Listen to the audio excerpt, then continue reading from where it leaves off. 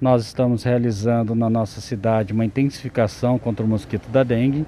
É importante que os moradores colaborem conosco nessa atividade, pois estamos num período silencioso de casos de dengue, estamos com poucos casos, estamos com 30 casos positivos e necessitamos muito dessa colaboração.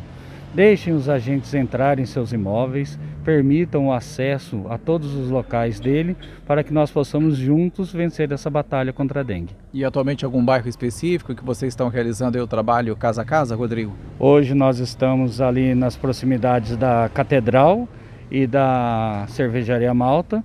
Então nós pedimos aos moradores dessas regiões que se tiver alguma dúvida quanto ao acesso de nossos agentes aos seus imóveis, pode estar entrando em contato conosco na Secretaria Municipal de Saúde através do telefone 3302 555555.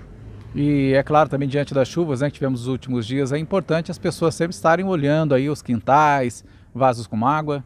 Nós pedimos sempre aos moradores que deixem cinco minutos do seu tempo após as chuvas para darem uma olhada em seus quintais, jardins de invernos e ver todo o recipiente que possa vir a acumular água é importante que não deixe eles expostos nos quintais e dê destinação correta desses itens para a Cocacis, a nossa usina cooperativa aqui dos catadores de lixo.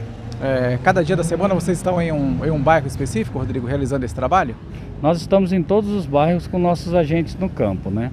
É, de vez em quando a gente tem uma prioridade de algum bairro específico onde a gente desloca mais funcionários para exercer essa atividade. E ressaltando, Cid, é importante a colaboração de todos os moradores para que nosso serviço tenha eficácia. Trabalho que vocês aí realizam, né? inclusive também no, no cemitério e outros parques públicos também. Nós realizamos os pontos estratégicos, a cada 15 dias nós fazemos umas visitas nesses locais.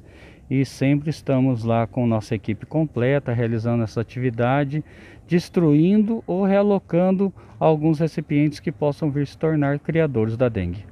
Nosso muito obrigado. Conversamos com o Rodrigo Caetano de Oliveira, que é o coordenador no combate a endemias de Assis.